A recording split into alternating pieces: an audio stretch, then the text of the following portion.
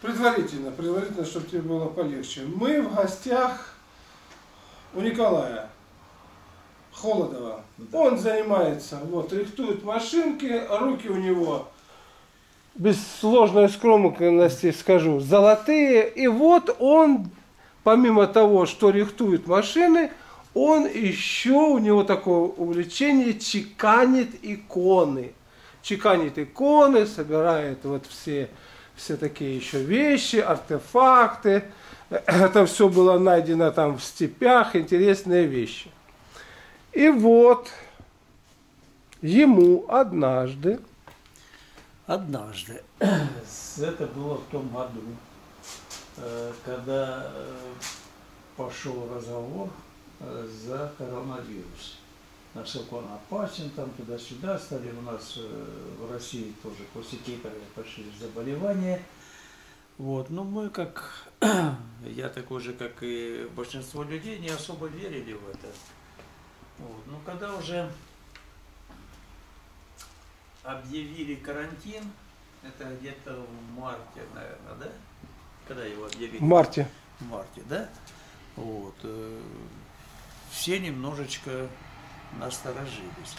Но ну, а я особого внимания не обращал, конечно, на это. Но однажды ночью я сплю.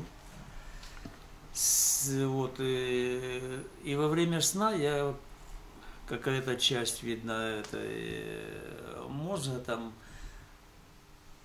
от сна отключается, и я осознаю, что я сплю, и мне это все снится. Сон ни о чем, такой, э, как обычный, и голос. Сверху голос такой, четкий голос. Сделай икону Пантелеймона Целителя.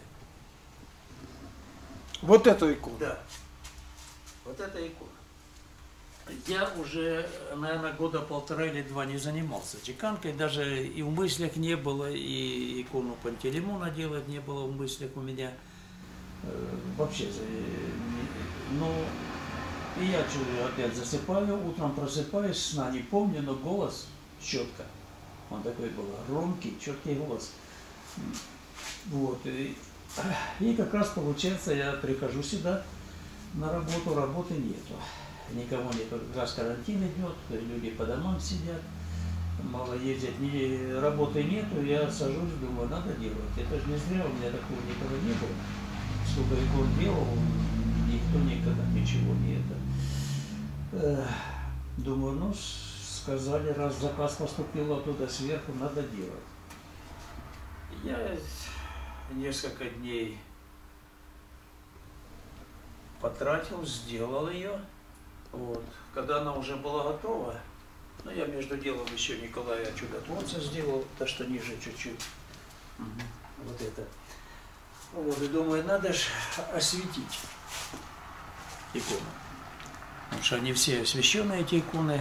Думаю, и эту раз э, заказ пришел сверху.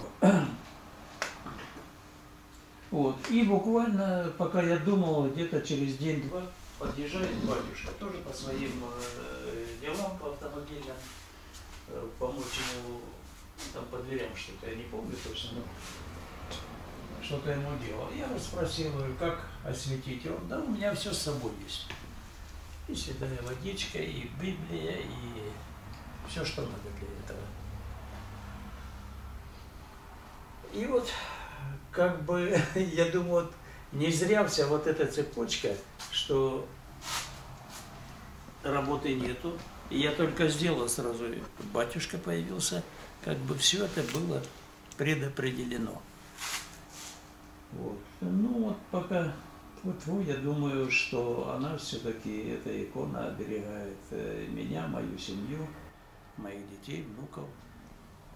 Потому что, слава Богу, за это время, опять же, тьфу -тьфу -тьфу, никто не болел. Вот такая небольшая история.